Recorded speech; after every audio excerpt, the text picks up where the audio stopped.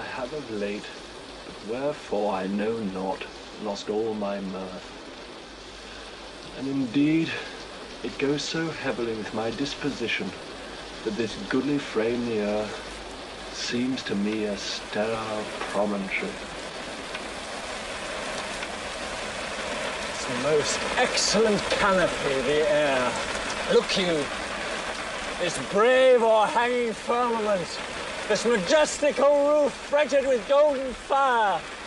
Why, it appeareth nothing to me but a foul and pestilent congregation of vapours. What a piece of work is a man! How noble in reason, how infinite in faculties, how like an angel in apprehension, how like a god!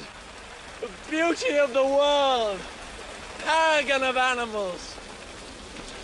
Yet to me, what is this quintessence of dust? Man delights not me. No, nor women neither. No women neither.